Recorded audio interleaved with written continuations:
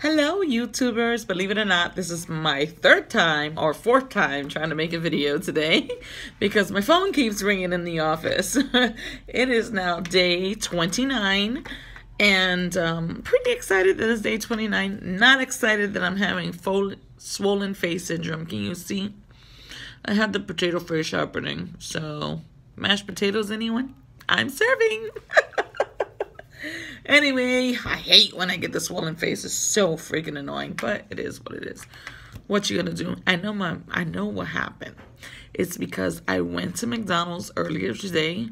I didn't have the the bread, but I ordered the um the the sausage and an egg, and I know I shouldn't have gone to McDonald's because I normally don't do that crap, uh, except for their breakfast. But I had like no time at all and I was so starving. I was like, forget it. I don't want to wait to get to the office to cook something. I need to eat right now. And I went to stupid McDonald's to have the stupid sausage and the stupid freaking eggs. And I should have known better because they're, you know, anyway, I don't want to say anything bad because I don't want them to sue me. But swollen face syndrome, see? Because it wasn't like that this morning. Now it is. Son of a monkey. So now I gotta fight it and combat it. Again, thank God I got all my pills and stuff to do it, but... Anyway, I have a monologue slam that I'm going to do today, which is a competition, basically. I'm very excited. I wrote the monologue. It's called The Forgotten. I'm going to say it. I'm going to say the monologue at the end of the video. So if you want to hear it, that'd be great. If not, then stop the video before I start the monologue and I will let you know when I'm going to get started. Um, I'm very, very excited about this weight loss journey. Very excited that I lost the 12 pounds. And I'm, you know, I really love watching your guys' videos. Like some of my girls who are uh, subscribers with me and, and I try my best to cheer them on and I watch their videos too. Um, I have to remember to always hit like on the video. I don't know why I don't do that half the time. And then I have to go back later on and be like, oh, stupid, you forgot to hit like. Uh, it's like, duh, hello, that's the whole point, hit like, so they know. Anyway, but it is what it is. Um, my sister's been finding some recipes for me with cauliflower, so we're gonna make like cauliflower patties, so that's pretty cool. Um, and then Thursday, I have an improv show that I have to do here in Atlanta, Georgia. So that's awesome. Tomorrow, can't wait to see it. I gotta try to not be so raunchy. And really, I'm not really that bad, but I guess if I'm gonna insinuate sex, try to use another another another word or whatever because I guess there's a lot of snowflakes around there. And I do just insinuate, but I guess it's too much insinuation, so some people had a problem with it. Whatever. It's improv. Grow a vagina. But anyways, gotta follow the rules, so gonna be doing that tomorrow. That's pretty exciting, I guess. Everything's exciting. Can you tell? Every single time I talk, I say it's exciting. It's always exciting. I brushed my teeth today. It's exciting. I ate today. It's exciting. I had coffee. It's exciting. Everything's always exciting. Like really, if you ever see when I'm hosting a red carpet or um, doing an interview with somebody, I'm always like, "That's awesome." oh my god, it was such a joke in the in the industry because I would be like, "That's awesome," and then when I was trying to stop myself, I was like, "That's great." oh goodness, so it's exciting.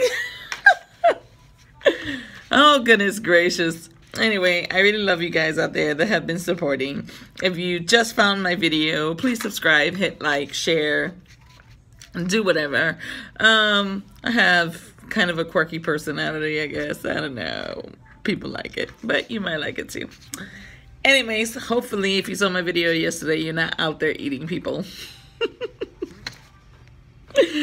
Unless you're, um, what is his channel? 90 something veteran. Oh, he's gonna kill me for not remembering.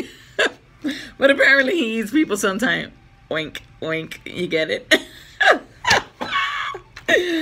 oh, anyway, you guys are great. Thanks so much for always making life fun for me. And um, I'll be back tomorrow. So here we go with the um, with the monologue, okay? It's called The Forgotten. I'm going to read it because I haven't memorized it quite yet. I'm going to memorize it on the road for the monologue slam, but I wrote it, so I should remember most of it. But it's called The Forgotten. I'm sorry to bring down the energy in the hall today, but I've come to plead to you my case about my people, the forgotten.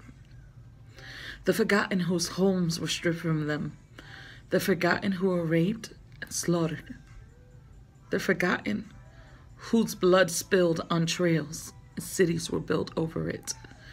That is who I am to that is who I am here to remind you of.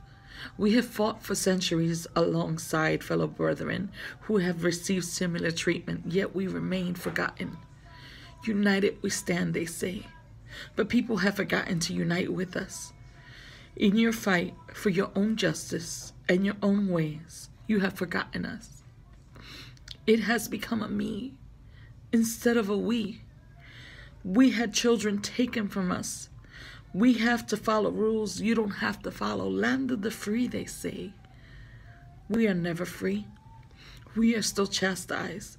We have and are being poisoned.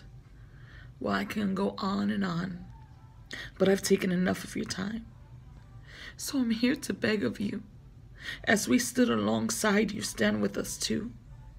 Stand with my people, because together we can move mountains. United we stand. Divided we will continue to fall. My brothers and sisters, we are the forgotten. We are the Native Americans. And that's my monologue. Anyway, hope you guys like it. The director wanted me to do something deep, so I wanted to talk about the Native Americans because, you know, people forget about them a lot. And I know that there's a lot of things going on with immigration as well. Um, and they're going through a lot as well. But I just wanted to touch light because Native Americans have been here a long time and they have suffered for a long time. They have to have reservations if they want to own any property and just all kinds of rules that we have to follow, including having to, in order to prove ourselves Native American, we have to be 25% or more. Um, whereas back in the time of slavery, if you had one drop of black blood, that means you black. But we have to follow different rules. So it's the most ridiculous thing. No race, no culture has to ever prove who they are except the Native Americans. Um, so anyways, I just wanted to shed some light on that because they, they are still suffering. They are still going through things. Um, their waters get poisoned, their land still gets stolen from them, and just all kinds of craziness. So, anyway, that's what my monologue is about. Hopefully, it's deep enough for the director, and I hope you guys like it. Anyway, I'll see you guys tomorrow. Bye.